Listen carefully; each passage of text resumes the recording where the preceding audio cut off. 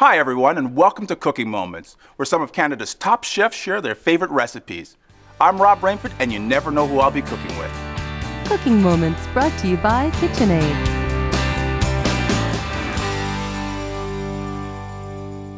To me, cooking is about memories, and creating those memories for my family is about cooking fresh seasonal foods. And today, working with me is Rose Reisman. How are you today? I'm great, and I am so excited to be in your kitchen.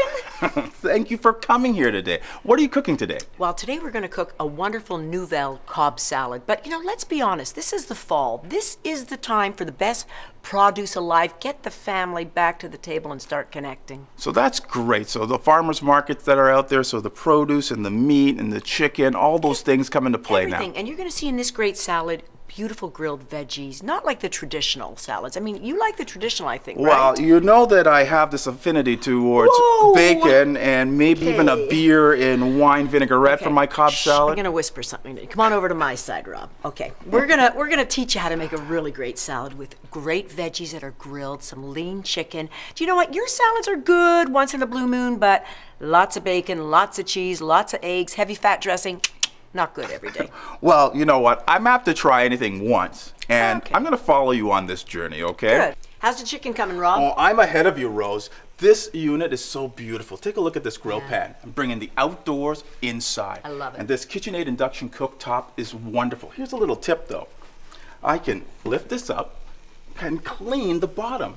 That's still warm, but the pan is hot, but not the element. It's Isn't that amazing. awesome? I love the cooktop because the precision temperature is is everything. That's the best part of this. Now, you want to make sure that your chicken's not overcooked? Yeah. Get yourself a nice little thermometer pro. Look at that, 165 degrees Fahrenheit.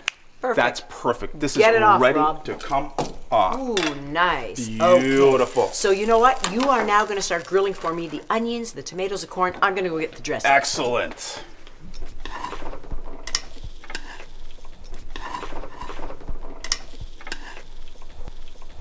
Rob, that fridge is pretty big. I could put a wedding cake in there. Or, or even a big bison roast in there. Come on, the bison and the bacon. You're doing light now.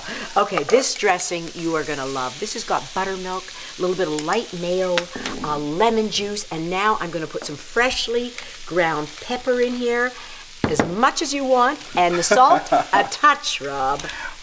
And that's it. Excellent. Now, Rob, take a look at this. Let's be honest. You eat with your eyes. Look at the colors of the veggies, the textures. I'm going to add a little more avocado, a little more of that grilled chicken that you did such a great job Thank on. Thank you. A little bit more blue cheese here. And voila. Oh, it's a masterpiece. Look at this. And now I'm going to add a little bit of dressing just to finish it off. Wow, that look, looks Now, great. look how thick and rich that dressing is. That looks good. Isn't that gorgeous? You know what? Do you have any Zinfandel? Red or white? White. All right, let me grab that for you. Mm, can't wait to dig in. Mm. There we go. Perfect. You know, Rob, I've had such a great day today cooking with you. I had a wonderful time myself. Thank you very much. And for the full recipes, click the link on this page.